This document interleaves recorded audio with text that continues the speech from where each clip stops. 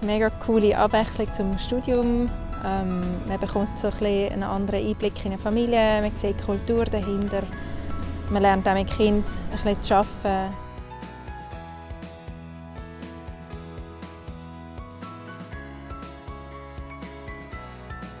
Mir gefällt es eigentlich am meisten viel, dass es Spaß macht, dass ich mehr also Fortschritt mache und besser wird.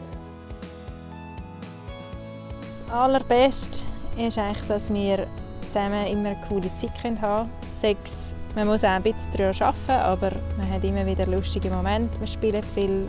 Es gibt zweimal im Jahr dürfen wir zusammen einen Ausflug organisieren, wo wir schon zusammen im Tierpark sind und sonst ein bisschen Sachen zusammen gemacht haben, die auch die Beziehung stärkt. Und ich glaube, das ist auch das, was mega lässig ist, dass wir mittlerweile eine gute Beziehung miteinander haben und auch so das Lernen vereinfacht wird.